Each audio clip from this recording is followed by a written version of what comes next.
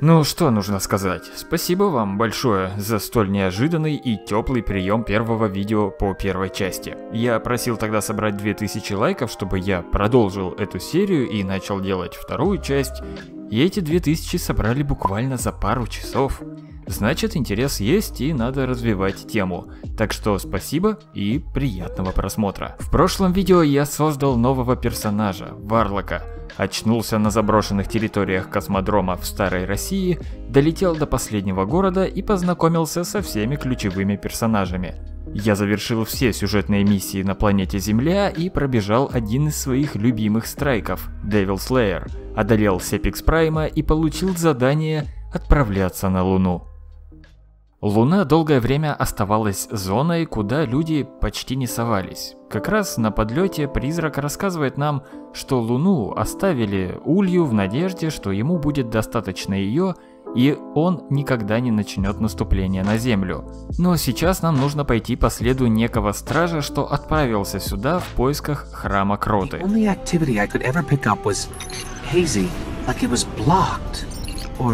buried.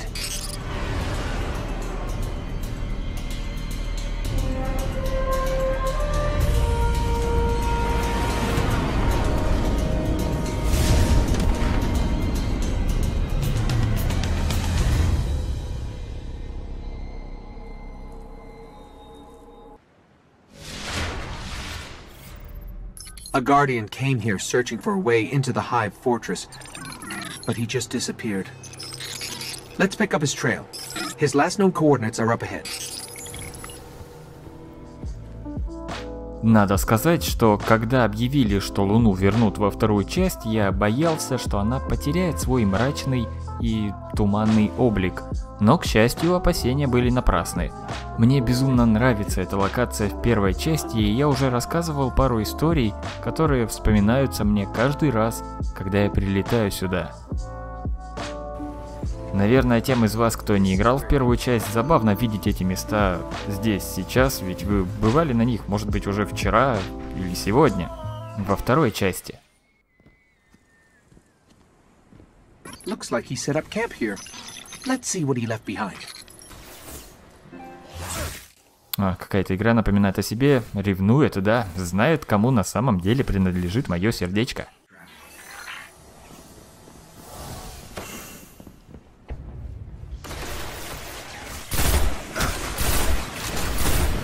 Вы только посмотрите, зеленая пушка и та прокачивается. Странно, я думал, что прокачиваемые перки начинаются только с синего шмота. Мне кажется, это, кстати, крутая фишка с прокачкой оружия. Она заставляла как-то продуманнее подходить к формированию своего арсенала, нагляднее показывала профит от того или иного перка. Такой полноценный RPG элемент. Любишь эту винтовку, с каждым выстрелом она будет сильнее такая еще одна нить, связывающая игрока и снаряжение, которое он использует в игре. Сейчас подобным образом только катализаторы на некоторые экзоты делаются. И то это так, с натяжкой. Жаль. И вот мы нашли тот самый храм Кроты. И того самого стража, по следу которого шли. Это тоже один из самых запоминающихся моментов для любого игрока из первой части.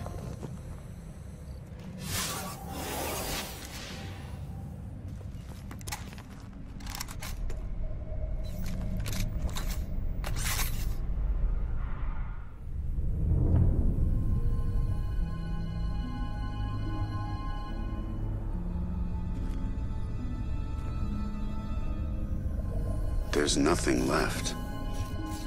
Not even the light. Where's his ghost?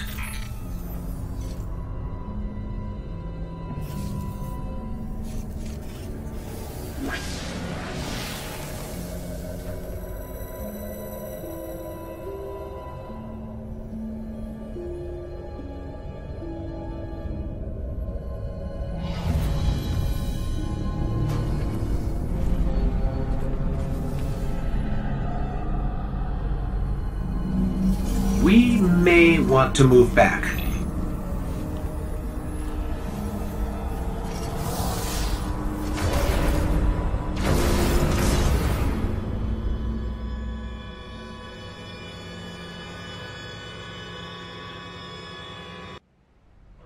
We've woken the hive.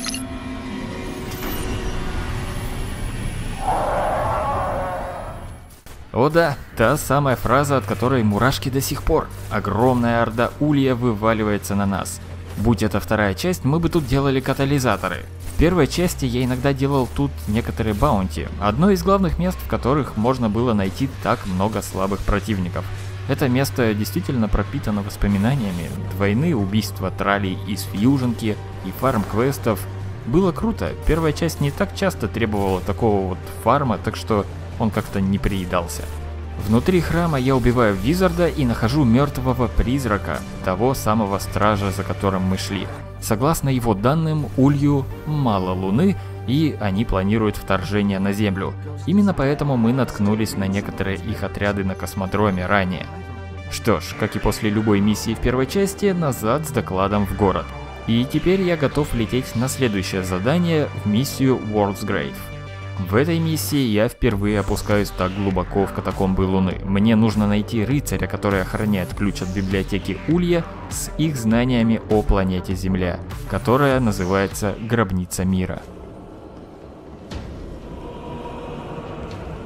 This.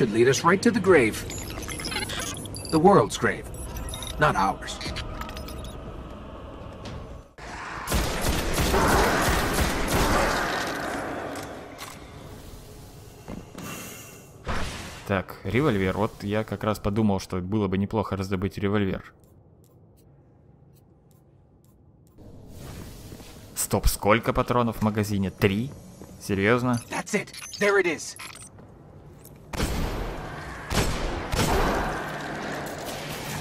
О бой, еще и перезарядка супер тягучая.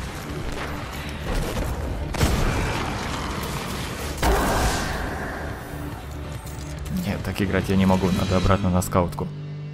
Обороняя своего призрака, который пытается выкрасть разведданные Улья, я снова наслаждаюсь динамичным саундтреком Destiny.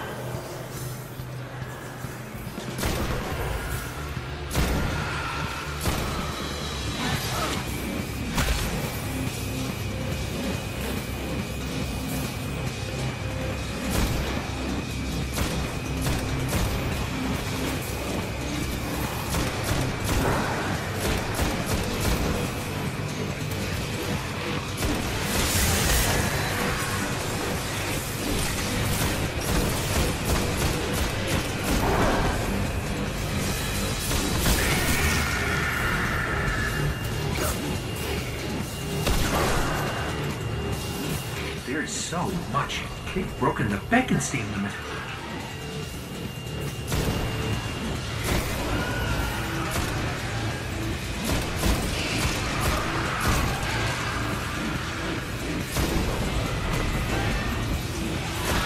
После этого задания я снова общаюсь с вендорами в городе, а Банши выдает мне оружие помощнее. Кстати, ассортимент оружейника тут довольно богатый. Например, вот эти предметы, телеметрия, использовались для ускорения прокачки оружия.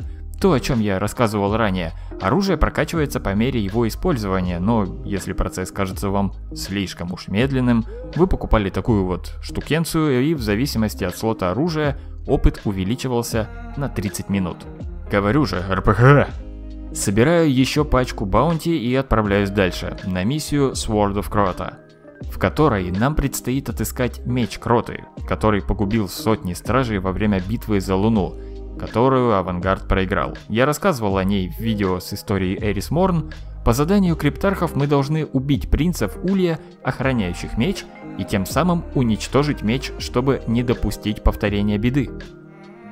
Я помню, как этот меч засветился на одном из каких-то ранних скриншотов э, в прессе еще до релиза первой части.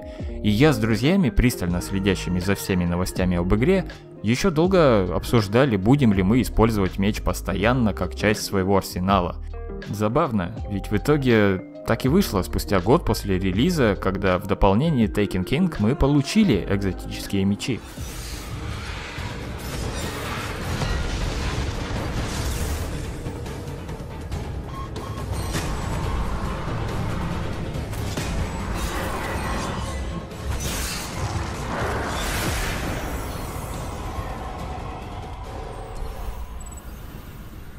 Sword is gone. They say that was one of the most powerful weapons the Hive ever wielded against us. Cryptarchs won't believe this. На следующей миссии на Луне мы должны помешать зловещему ритуалу Улья и вновь отправляемся в катакомбы. Но прежде чем спуститься, с нами на связь выходит таинственный женский голос.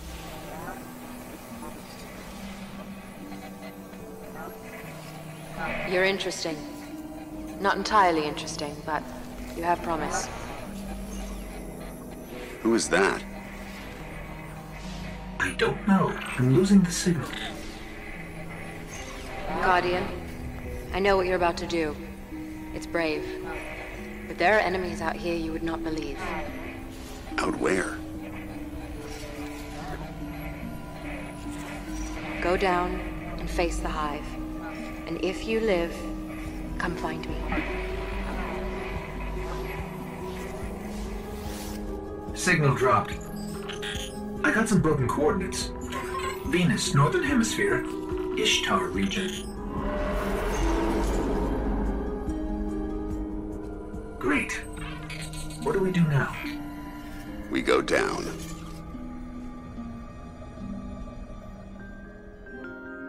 Конечно же, этот голос принадлежит экзо-незнакомке, которая следит за нами с момента нашего пробуждения на космодроме. Враждебной она нам не кажется, так что мы продолжаем путь и сражаемся с ведьмами и ограми в храме Кроты. А затем выясняем, что ритуал Улья проводится с использованием осколка Странника. Чтобы во всем разобраться, следует отправиться по координатам незнакомки на Венеру. Но, как вы понимаете, визит на новую планету мы оставим уже для следующего видео. А пока отправляемся в последнюю миссию на Луне Shrine of Oryx, из которой получился бы хороший страйк, надо сказать. Единственное воспоминание, которое у меня всплыло в голове за время ее прохождения, это то, как я фармил тут вот этого несчастного Огра для счета в карточках гримуара. Это, ну, грубо говоря, для триумфов, ага. Так что, по сути, убив его в этот раз, я сделал это, наверное, в трехсотый раз или около того. Сама битва с боссом миссии была довольно простой. Сардак, глаз Орикса, стал первым предвестником появления самого короля в игре. Но тогда мы об этом и подозревать не могли. Что ж, сюжетные миссии на Луне закончились, однако мне сегодня стали доступны PvP режимы, так что давайте сыграем один матч, посмотрим, как оно играется сейчас. Режимов PvP полно, и вы можете запускать любой по своему желанию.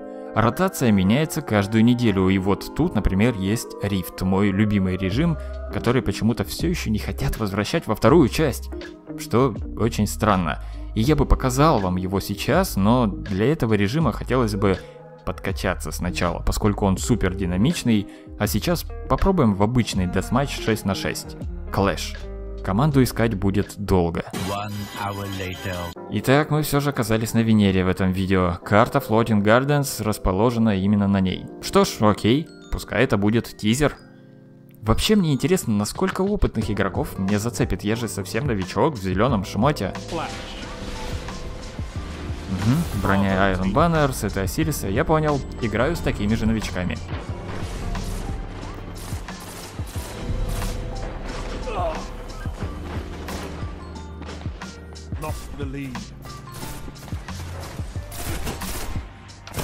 Целиться почему-то значительно тяжелее, чем во второй части. Не хватает подвижности, поворотливости, что ли.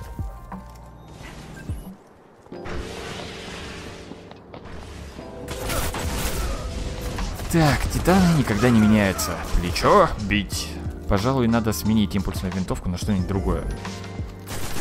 Во, должно быть лучше.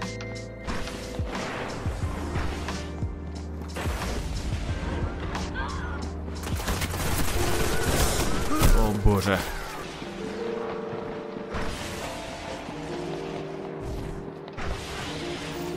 Какой плавучий варлок у меня.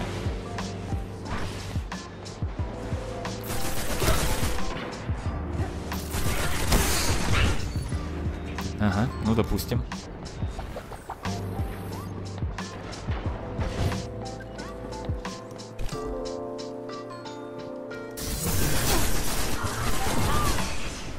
Кажется, это был тот же Хантер, не?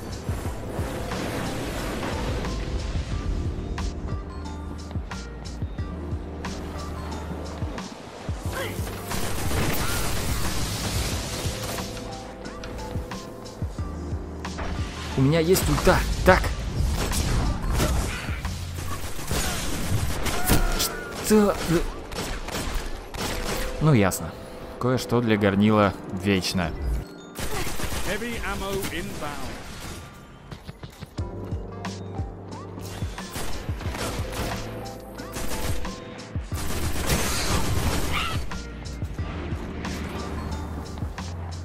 Heavy ammo available.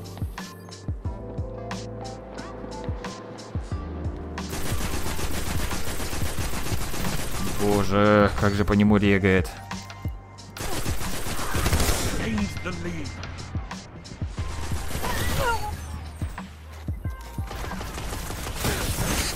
Насчет подвижности, наверное, дело в том, что я слишком привык к моду тяга из второй части. Играя на геймпаде, он просто необходим для более резкого разворота на бегу. Тут такого, конечно же, нет, и все, что остается, это выкручивать сенсу на максимум. А у меня еще и прыжки не всех типов открытые, так что двигаюсь реально как в киселе.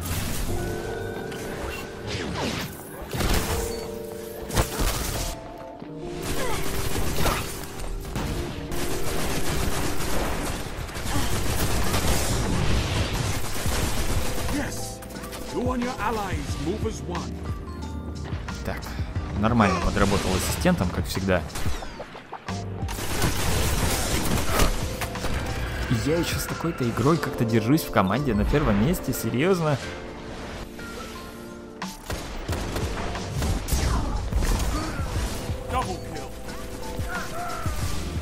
Я ненавижу этого Титана, почему он всегда выходит под меня?